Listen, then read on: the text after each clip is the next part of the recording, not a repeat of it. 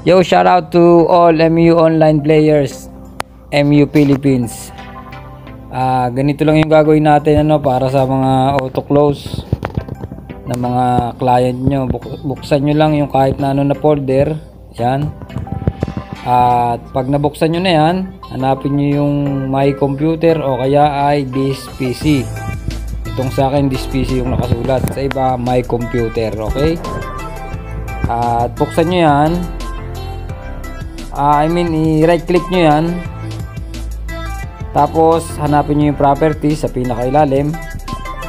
I-click nyo lang yung properties. Pagkatapos, ayan yung magbubukas dyan. Hanapin nyo, minsan nasa ibabaw, minsan nasa ilalim. Depende sa PC. Yung Advanced System Setting. Yan. I-click mo lang. At dadalhin ka niyan sa yan. So yan, pag lumabas yung maliit na box na yan, yung puti na yan, sa advanced din, wag mo nang alisin, nasa advanced na siya, no? Tapos, click settings. Okay? Pasensya na itong aking PC at medyo matanda na. Yan. Lalabas ngayon dyan yung ayan yung yan, dep, ayun yung tinatawag na dep, no?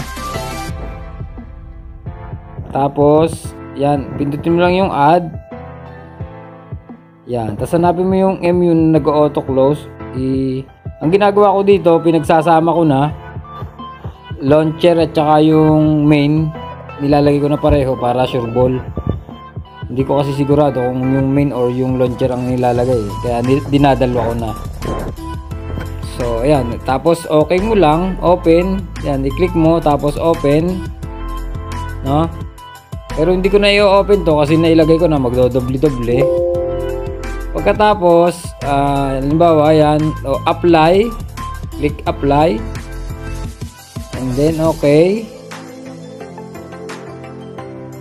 Okay? Tapos, pagkatapos niyan, pwede mo na silang i-close lahat. At ito ang pinaka, no, wag mong kakalimutan i-restart yung PC mo. Okay? Or yung computer mo. I-restart mo yan. Kasi hindi gagana yung ginawa mo pag hindi mo na-restart. Okay?